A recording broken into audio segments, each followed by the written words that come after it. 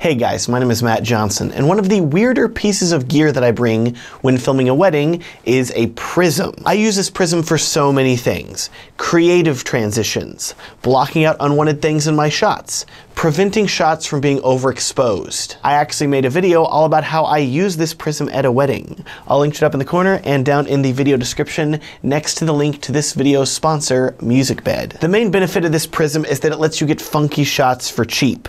For about 15-ish dollars, you can add some pizzazz to your videos. I love it. But is it possible to improve upon this prism? There's a small company called Prism Lens Effects that's trying to do that. And what they're making is pretty interesting. This company was started by Jacob Owens. He also runs the Buff Nerds YouTube channel, but more importantly, he has a great beard. Much like people that own motorcycles or Jeeps, I felt a connection to him through our shared beards. So I reached out to him and asked if it'd be possible for me to try out some of his prisms and lens filters at a wedding and he graciously said yes. Starting off, let's compare my current prism to the Prism Lens Effects prism.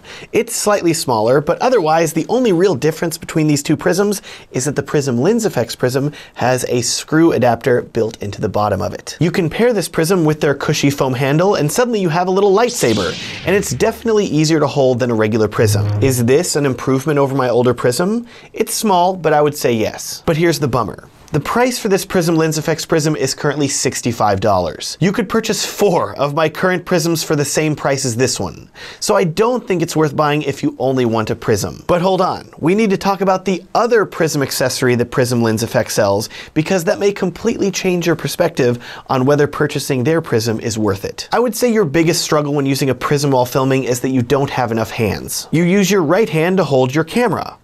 You use your left hand to hold the prism pressed up against the edge of the lens. Because the prism is going to mess with your camera's autofocus though, you really need a third hand that can adjust the focus of your camera manually. Because I don't have a third hand, and I doubt many of you do either, I have to set my focus manually and then make sure that I don't get closer or further away from my subject while I'm filming so that way they stay in focus. As I said though at the start, Prism Lens Effects set out to improve prisms. Enter the articulating arm mount accessory. Screw your prism into one end of the arm arm, screw the other end of the arm into the bottom of your camera, and voila! You have a third hand holding your prism while you are filming. The first time I used this, I fell in love. It makes it entirely possible to use a prism while filming, yet still adjust my focus. A kit with a prism, handle, and articulating arm mount accessory is going to set you back $140. So this definitely isn't in the impulse buy territory of a regular prism at $15. That said, if you buy a prism and you run into the issue of not being able to adjust your focus like I did, this setup may help you with that and I think it could be worth it. Now, because I use the Manfrotto quick release plate on the bottom of all my cameras and I need to be able to film as fast as possible, it doesn't make sense for me to unscrew my quick release plate every time I want to use this arm mount. To make using my Prism as fast as possible, I picked up a Manfrotto compatible quick release plate adapter on Amazon for around 20 bucks, and it lets me quickly attach and remove the Prism arm to my camera while still keeping it compatible with all my other camera gear. I will link to the quick release adapter as well as all of the other gear that I'm talking about in this video down in the description next to the like button. Let's talk about what else you can attach to this arm mount. Prism Lens Effects also sells an orb prism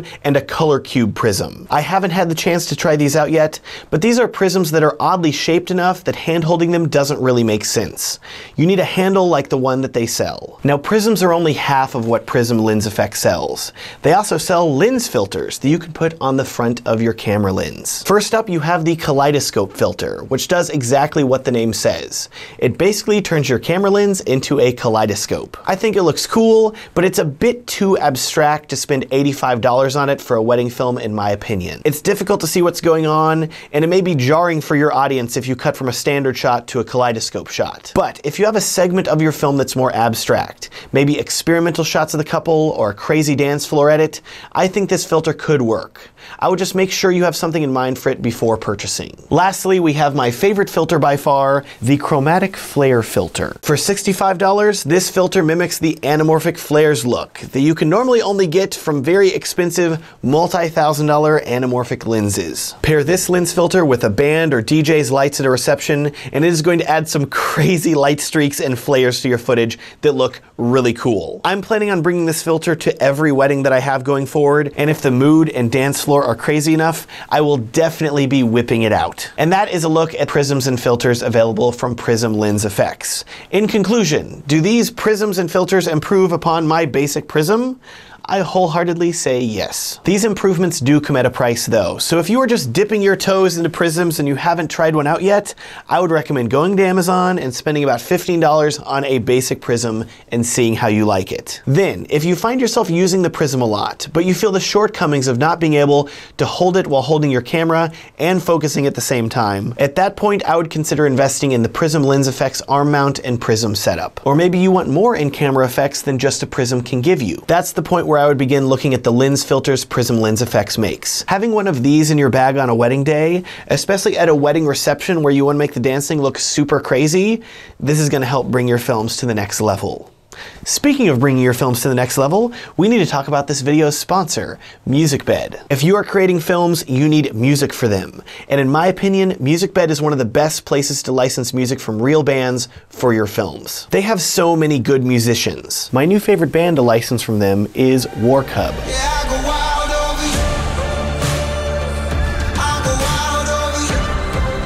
They have creative heavyweights like Tim Halperin with his oh so good side project, Boundary Run. There's CHPTRS. I don't know how a band that doesn't have any vowels in their name can be so good, but they are.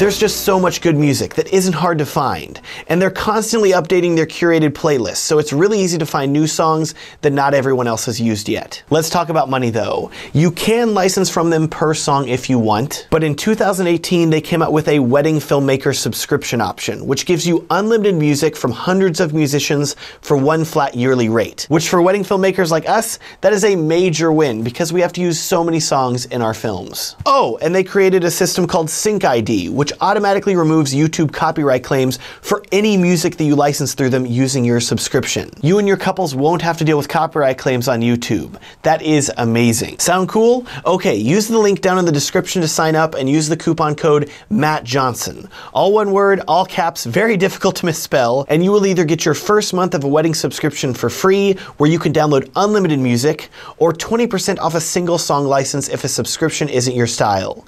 Either way, you're winning. With that, thank Thank you so much for watching. Do you want to see more videos about prisms, about cameras, about beards, anything else like that? It would be a huge help to me if you would consider liking this video and subscribing if you want to see more videos like it in the future.